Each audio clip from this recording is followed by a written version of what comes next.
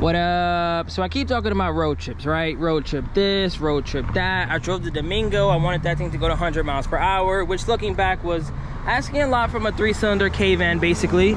So in today's video, we're gonna put down the K-vans, we're gonna put down the K-cars, and we're gonna drive a car that was essentially made to go on road trips. And that car is this 1995 Mazda Bongo Friendee. So the reason I keep talking about road trips is because if you guys have been following the channel, I've probably gone on 10 road trips in maybe the last year. I love road trips. We went on a road trip in the Delica, the Miata, my K-Vans. We just went one on the Honda Life. I just love road trips. Like for me, it isn't even so much about like getting to my destination.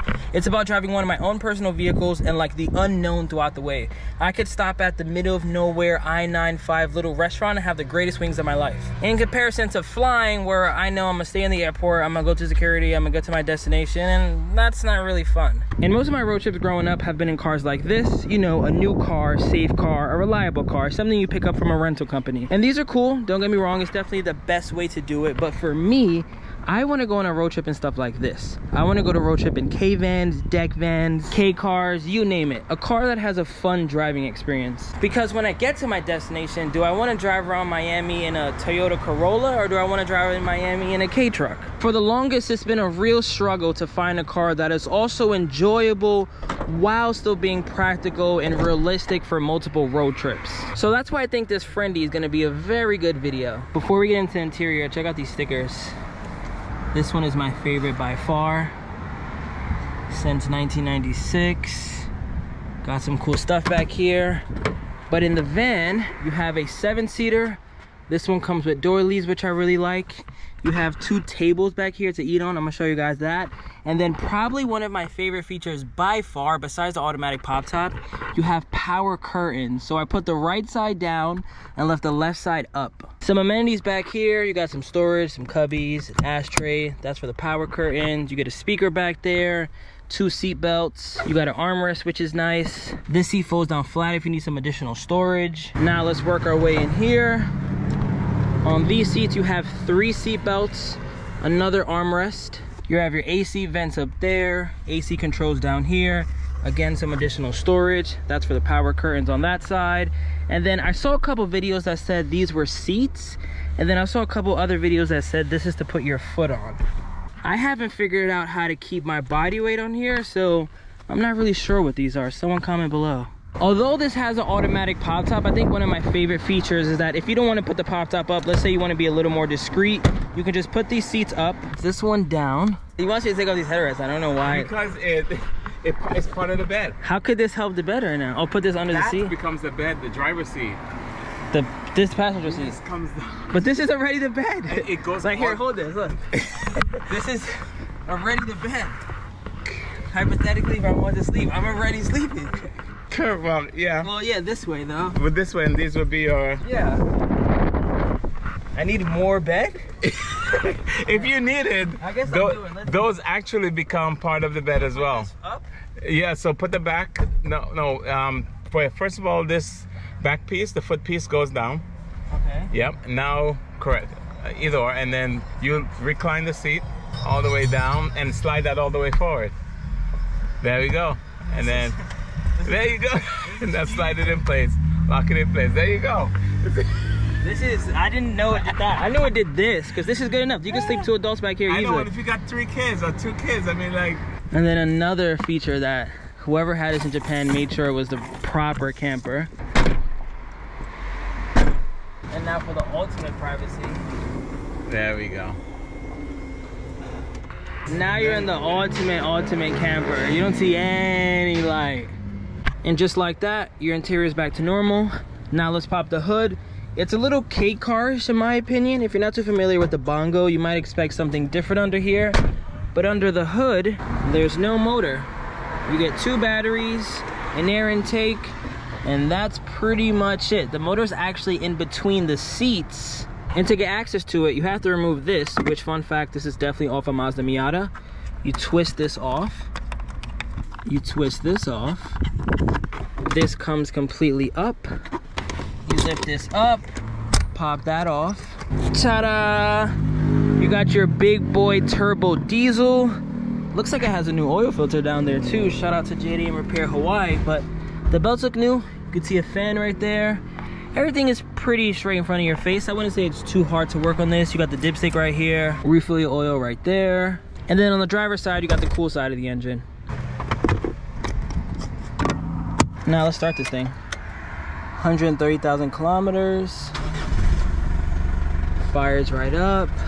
Has power folding mirrors, which will always be one of my favorite JDM mods. Also has an ETC reader. But now, the moment we've all been waiting for. Let's go in here, press this button. You can start to hear it beep.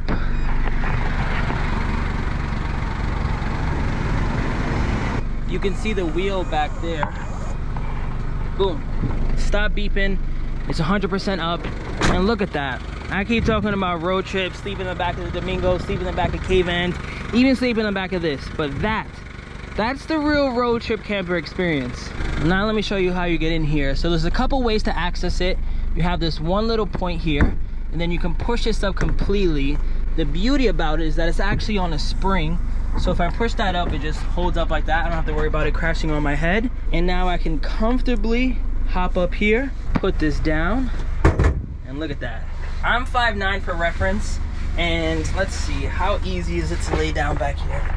Oh yeah, I can fit two adults back here. Look at this. This is full body extension and I still have a lot of space right here. I get a light so I'm able to edit my YouTube videos up here. This, I'm not really sure what its function is, but in my opinion, it's like a drink holder. So you just open this up and I say, hey, can you pass me a beer? And then they just shoot it up here. That way they don't have to open this entire thing to pass it to me. It's just a cool, quick drink holder. And then let's just say you're out in nature and you want to open this up. You want to get a view of your surroundings. All you would do is just zip this completely to the end, open this up, and look at that. Got some nice fresh air. I am falling in love with this car. This is a bad idea. But look at all this nature. And then if you're expecting to get bit by mosquitoes, no, no, no.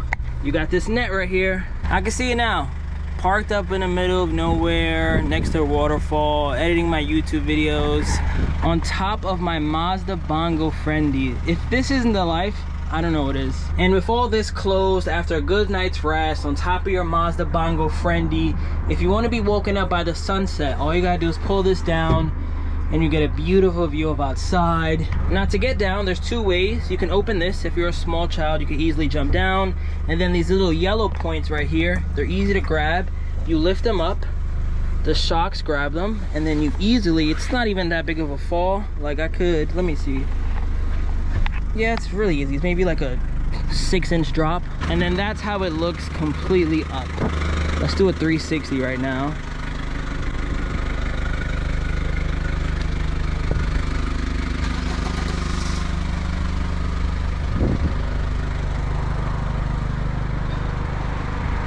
Mazda Bongo Friendee with the auto free top. This is really what I need in my life. I need this to be like my daily and then I just have a K car on the side. The skylight has to be closed, that lock cancel button, and then now you hear it beeping. It's done. It comes down halfway and then and then press it again. Ah, uh, yeah, I hear it. Yeah. Now it's and that's a safety feature, so just in case if somebody's hand is there, oh, it won't okay. just come down. It won't just go. So it'll come down, beep, and then okay, I'll, I'll clear, and then yeah. Wow, that's smart. Yeah. Now let me drive it. First time driving a Mazda Bongo. The only real diesel car I've really ever drove, honestly, was my L400 Delica, which I'm pretty sure has a pretty similar motor. So let's see how this feels. Just for the hell of it, acceleration test.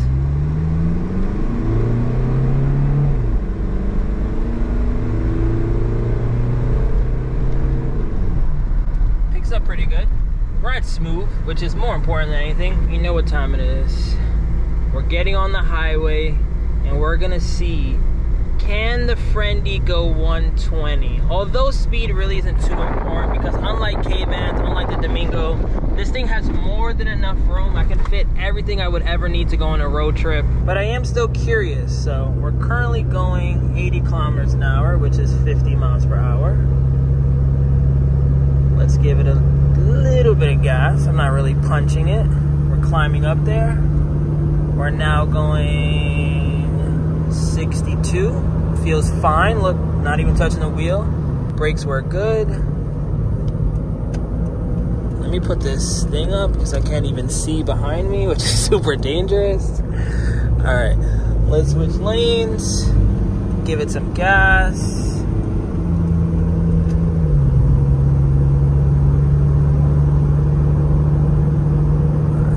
Thing it's just so hard to get up there on the speeds. That's why K trucks are so amazing. Because like I could never really go 120. Like even if I wanted to, I'd have to be doing something illegal and dangerous just to like swerve around all these cars just to go 70 miles per hour, which isn't worth it. Like it isn't worth it at all. Now that I'm driving the car, I'm really digging the interior. This is perfect for a double din, so I can have my Apple CarPlay, my GPS over here while I'm going on my road trip. This works. AC blows ice cold. This is my coin holder. I know people call it an ashtray, but this is where I'm gonna put my coins. Then you have this little storage cubby there. You can put some chargers, some snacks. The car is idling and driving fine. Let's put it in sport mode, S2. See if that changes anything with the RPMs.